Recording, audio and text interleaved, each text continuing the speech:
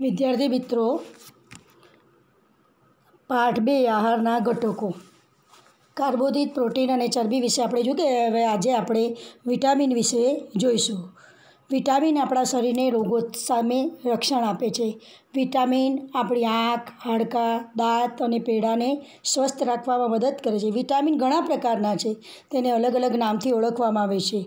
દાખલા તરીકે vitamin A, vitamin B, vitamin C, vitamin D, vitamin E, vitamin K. આ ઉપરાંત વિટામિનનો એક સમૂહ છે, જેને વિટામિન બી કોમ્પ્લેક્સ કહેવાય છે. આપણા શરીરને બધા પ્રકારના વિટામિનોની અલ્પ માત્રામાં આવશ્યકતા રહેલી છે. વિટામિન એ વિટામિન એ આપણને શેમાંથી મળે છે? તો અહીં ચિત્રમાં તમે જોતા હશો કે વિટામિન એ આપણને દૂધ વિટામિન એ આપણને દૂધ, માખણ, ઈંડા માછલીનું તેલ, ગાજર, કોબીજ, કેરી, પાલક, લીલા પાંદડાવાળા શાકભાજી વગેરેમાંથી આપણને મળી રહે છે. એ જ રીતે અને એ વિટામિન એ આપણી આંખ અને ત્વચાને તંદુરસ્ત રાખવામાં મદદરૂપ થાય છે. એ જ રીતે વિટામિન બીની વાત કરીએ આપણે, તો વિટામિન બી આપણને દૂધ, માંસ, લીલા પાંદડાવાળા શાકભાજી, આખા ધન્ય, ટામેટાં, મગફળી, ફણગાવેલા કઠોળ વગેરેમાંથી મળી રહે છે. વિટામિન બી ચેતાતંત્ર અને આપણા પાચન ક્રિયાની કાર્યક્ષમતા વધારવા માટે જરૂરી છે. આપણા કોષો અને સ્નાયુઓની ક્રિયાશીલતા માટે પણ વિટામિન બીની જરૂર છે. Vitamin C vitamin C C આપણને આમળા, લીંબુ, મોસંબી, નારંગી, ટામેટાં જેવા બધા ખાટા પદાર્થ, ખાટા ફળોમાંથી મળે છે. અને વિટામિન સી આપણી રોગપ્રતિકારક શક્તિ વધારવા માટે અને દાંતના પેડાના તંદુરસ્ત વિકાસ માટે આપણને જરૂરી છે. વિટામિન ડી વિટામિન ડી આપણને શેમાંથી મળે છે? તો વિટામિન ડી આપણને દૂધ, માખણ, ઈંડા, માછલીનું તેલ, લીલા પાંદડાવાળા શાકભાજી અને સૂર્યપ્રકાશમાંથી મળે છે. વિટામિન ડી આપણા હાડકાની યોગ્ય વૃદ્ધિ માટે તે જરૂરી છે. આપણું શરીર પણ સૂર્યના પ્રકાશની હાજરીમાં વિટામિન ડી બનાવે છે. હવે આપણે જોઈએ કે આપણા શરીરને વિટામિન ઉપરાંત ખનિજ ક્ષારોની પણ અલ્પ માત્રામાં આવશ્યકતા હોય છે. શરીરના યોગ્ય વિકાસ તથા સારા સ્વાસ્થ્ય માટે આપણને ખનિજ ક્ષાર જરૂરી છે. તો કેલ્શિયમ, ફોસ્ફરસ, આયોડીન, આયર્ન આ બધા ખનિજ ક્ષાર છે. અને આ ખનિજ ક્ષાર આપણને શેમાંથી મળે છે? તો દૂધ, લીલા પાંદડાવાળા શાકભાજી, ફળો, ધાન્ય, કઠોળ, માંસ, ઈંડા, ગોળ, સૂકો મેવો, મીઠું. આ બધા પદાર્થોમાંથી આપણને ખનિજ ક્ષાર મળી રહે છે. ખનિજ ક્ષારની આપણા શરીરમાં શી અગત્યતા છે? તો ખનિજ ક્ષાર જૈવિક ક્રિયાઓના નિયમન માટે જરૂરી છે તથા હાડકાં, દાંત અને રુધિરના બંધારણ માટે પણ ખનિજ ક્ષાર જરૂરી છે. હવે આ પોષક દ્રવ્યો ઉપરાંત આપણા શરીરને પાચક રેસા અને પાણીની પણ આવશ્યકતા હોય છે. પાચક રેસાને આપણે વૃક્ષાંશ નામે ઓળખીએ છીએ. વૃક્ષાંશ આપણા શરીરને કોઈ પોષક દ્રવ્ય પ્રદાન કરતા નથી, છતાં પણ તે ભોજનનો એક આવશ્યક ઘટક ગણાય છે. એટલે એના જથ્થાને આપણે વધારી દેવો જોઈએ. રેસાઓ અપાચિત ખોરાકને આપણા શરીરમાંથી બહાર કાઢવામાં મદદ કરે છે. પાણીની વાત કરીએ આપણે, તો પાણી પણ આપણા શરીર માટે ખૂબ જ જરૂરી છે. આપણા આહારમાં રહેલા પોષક દ્રવ્યોનું શોષણ કરવામાં આપણા શરીરને તે મદદ કરે છે. કેટલાક નક્કામાં પદાર્થો જેવા કે મૂત્ર તથા પરસેવાને શરીરમાંથી બહાર કાઢવા મદદ કરે છે.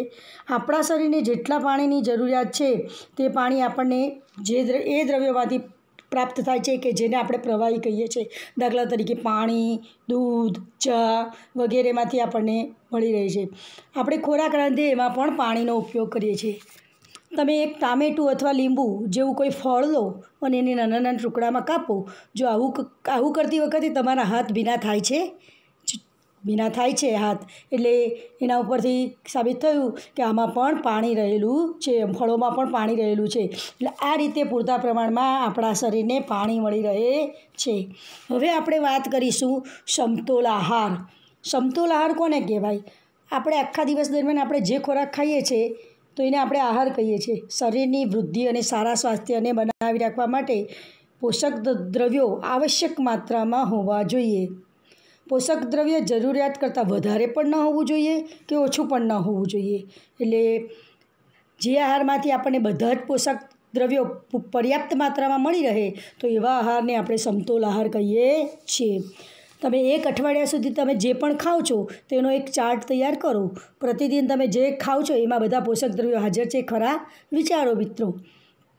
કઠોળ, મગફળી, સોયાબીન, ફણગાવેલા મગ કે ચણા, આથાવાળો ખોરાક હોય, મકાઈની રોટલી, અનાજ કે કઠોળના બનાવેલા થેપલા, કેળા, પાલક, રોટલી, દાળિયા, ગોળ, શાકભાજી, આ આવા પ્રકારના અન્ય ખોરાક ઘણા બધા પોષક દ્રવ્યો ધરાવે છે. અને એટલા માટે એવું નથી કે ખર્ચ કરે, મોંઘી આપણે વસ્તુ ખાઈએ, તો જ આપણને બધા પોષક દ્રવ્યો મળે. કોઈપણ વ્યક્તિ ખર્ચાળ ખોરાક સિવાય પણ સમતોલ આહાર લઈ શકે છે. એટલે હવે આપણે ખોરાક રાંધતી વખતે એના પોષક દ્રવ્યો નાશ ન પામે, તે માટે આપણે કઈ બાબતો ધ્યાનમાં રાખીશું? તો પહેલું, ખોરાક રાંધવામાં ઉપયોગમાં આપણે લઈએ છીએ દાળ અને ચોખા. એને વારંવાર ધોવા જોઈએ નહીં. શાકભાજી અને ફળોની છાલ કાઢી કાઢી નાખવી જોઈએ નહીં. એમાં જ વિઠા, વિટામિન રહેલા છે. પોલિશ કરેલા ચોખા વાપરવા જોઈએ નહીં અને લોટમાંથી આપણે થૂલું પણ કાઢી નાખવું જોઈએ નહીં. રાંધવા માટે જરૂર પૂરતું જ પાણી લેવું જોઈએ. વધારે પાણી લઈ અને ભાતને પછી આપણે ઉસાવી દઈએ તો ઓસામણ દ્વારા વધારાનું પાણી નીકળી જાય છે અને એમાંથી આપણા પોષક તત્વો પોષક તત્વો આપણે ગુમાવી દઈએ છીએ. અને ખોરાકને વધુ પડતો રાંધવો પણ જોઈએ નહીં. હવે, આ ખોરાકને રાંધવાથી શું થાય છે? તો રાંધવાથી આપણા ખોરાકનો સ્વાદ વધી જાય છે. ખોરાકને રાંધવાથી આપણને શું ફાયદો થાય? તો એક તો આપણો સ્વાદ વધી જાય. બીજું આપણને ખોરાક રાંધવાથી પોચો બને એટલે આપણે સહેલાઈથી ચાવી શકીએ અને તેથી તેનું સારી રીતે પાચન થઈ શકે છે. ખોરાક રાંધીએ છીએ એટલે એમાં આપણે મસાલા ઉમેરીએ છીએ એટલે ખોરાક સ્વાદિષ્ટ બને છે અને તેથી આપણને ખાવાની રુચિ જાગે છે અને તેથી વધુ પ્રમાણમાં પોષક પાચક રસો પણ જરે જરે છે. ખોરાક આપણે રાંધીને નવી નવી વાનગીઓ બનાવી શકીએ છીએ એટલે આપણા ખોરાકમાં વિવિધતા પણ રહે છે અને રાંધવાથી ખોરાકમાં રહેલા હાનિકારક જીવાણુઓ પણ નાશ પામે છે અને ગરમ અને તાજો ખોરાક ખાઈ શકાય છે.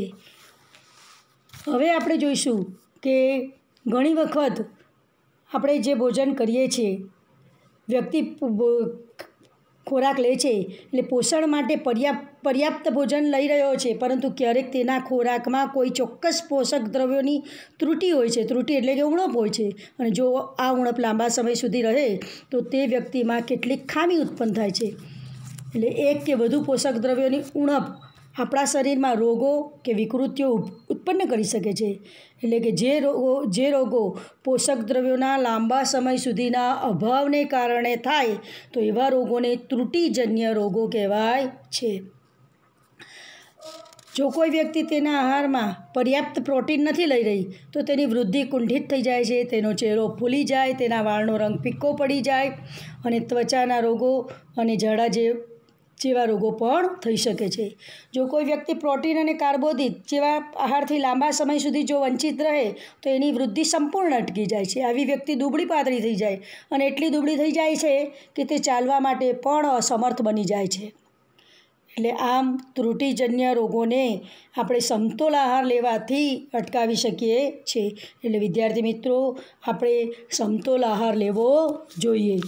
હવે આ વિવિધ વિટામિન અને ખનિજ ઉણપને કારણે કેટલાક રોગો થાય છે.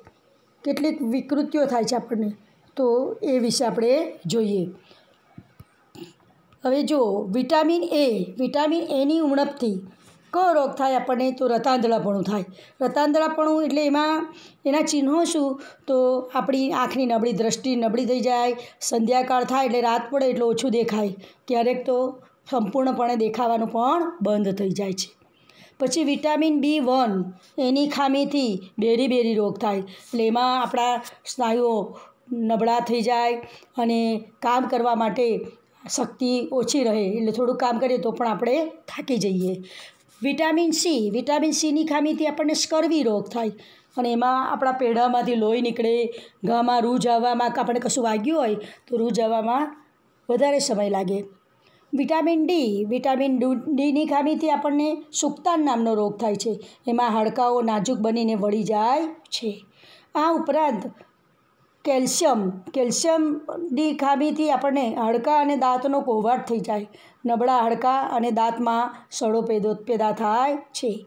આયોડિન, આયોડિનની જો આપણા ખોરાકમાં ખામી હોય, તો એ આયોડિનની ઉણપથી આપણને ગોઈટર નામનો રોગ થાય. અને એમાં ગરદનમાં જે ગ્રંથિ આવેલી છે ફૂલી જાય. અને બાળકોમાં માનસિક રીતે મંદ મંદ હોય છે. મંદ બુદ્ધિના કહીએ છીએ ને આપણે બાળકો. એટલે માનસિક રીતે તેઓ વધારે એમની યાદશક્તિ રહેતી નથી. આયર્ન. આયર્નની ખામી હોય તો આપણને એનિમિયા એટલે પાંડુરોગ પણ કહેવાય છે. એટલે એમાંથી એના એના લીધે શરીરમાં નબળાઈ રહે છે. તો વિદ્યાર્થી મિત્રો, આપણે જોઈ ગયા કે વિટામિન અને ખરીક્ષાની ઉણપને લીધે કયા કયા રોગો થાય છે. હવે આપણો આ પાઠ અહીંયા પૂરો થાય છે તો આપણે પાઠનો સારાંશ જોઈશું. તો આપણા ખોરાકના મુખ્ય પોષક ઘટકોના નામ કાર્બોદિત, પ્રોટીન, ચરબી, વિટામિન ક્ષાર છે. અને આ ઉપરાંત આહારમાં પાચક રેશા અને પાણી પણ હોય છે. કાર્બોદિત તથા ચરબી આપણા શરીરને મુખ્યત્વે ઊર્જા પ્રદાન કરે છે. ખોરાકના બે ઘટકો છે, આ કાર્બો કાર્બોદિત અને ચરબી એ આપણને મોટાભાગે ઊર્જા પ્રદાન કરે છે. પ્રોટીન તથા ખનિજ આવશ્યકતા શરીરની વૃદ્ધિ અને સમારકામ માટે છે. પછી વિટામિનો આપણા શરીરને રોગોથી રક્ષણ આપવામાં મદદ કરે છે. અને સમતોલ આહારમાં શરીર માટે આવશ્યક બધા જ પોષક ઘટકો તથા પર્યાપ્ત પાચક રેસાઓ અને પાણી પૂરતી માત્રામાં હાજર હોય છે. અને આપણા આહારમાં લાંબા સમય સુધી એક અથવા વધારે પોષક તત્વોની ઉણપથી આપણને ત્રુટિજન્ય રોગો ઉત્પન્ન થઈ શકે છે. વિદ્યાર્થી મિત્રો, આપણો આ પાઠ અહીં પૂરો થયો. અહીં આગળ તમને મેં કારણો અને તફાવત મેં અંદર મૂકું છું આમાં, તો એ બધા વિદ્યાર્થીઓએ નોટમાં ઉતારી લેવાના રહેશે અને તમને ઘરકામમાં પ્રશ્નો આપું છું, તો એ તમારે એના જવાબ લખવાના રહેશે અને બે વ્યાખ્યા પણ લખવાની રહેશે.